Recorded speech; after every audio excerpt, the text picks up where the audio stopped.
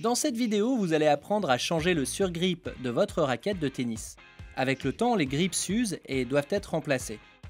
Cela peut être fait facilement par vous-même. Les étapes clés sont les suivantes. Retirez l'ancien grip, enroulez le nouveau, appliquez le ruban de finition. Décollez et retirez l'ancienne bande de grip que vous souhaitez remplacer.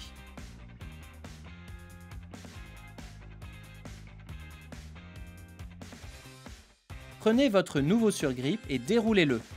Notez qu'il comprend normalement une bande de finition que vous pouvez laisser de côté. Retirez la languette qui protège le côté adhésif de la bande. Ce bord, qui est généralement plus étroit, doit être enroulé autour du bas du manche de la raquette.